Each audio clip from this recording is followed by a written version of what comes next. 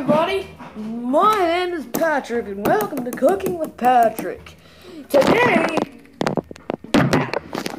today we are going to be learning how to make appetizing water.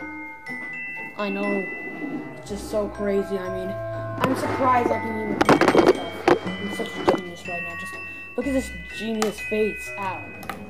Just look at this genius face. It's so genius, you can't even tell how genius this face is. I mean, seriously, that's how genius I am. Appetizing water. Anyways, so your ingredients will be plain water, a ruler, and a banana. Once you have all the ingredients, you're ready to start. First, you need your glass of water. You need your glass of water. Now you need, you need to put your glass. You need to take your glass and put a banana. You put your banana on top of your glass. And now, you need your ruler to, um, you know, like chop the banana a little bit. Oops. Do not put your banana in. Whatever you do, do not put your banana in. If you put your, put your banana in, it's gonna taste even worse. So please, do not put your banana in. Anyways, so now you need to take your ruler and like smoothen it out a little bit, so it'll be even more appetizing.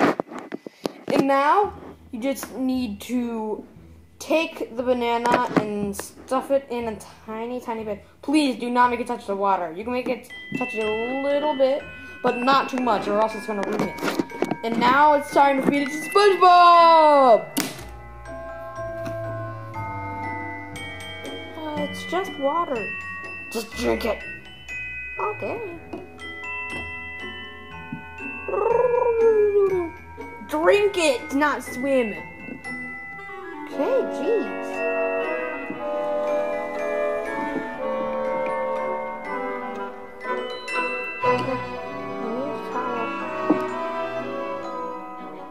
Oh, Patrick, this is really good. How do you prepare this? I have no idea. So, that, was, that was pretty good. How was that appetizing?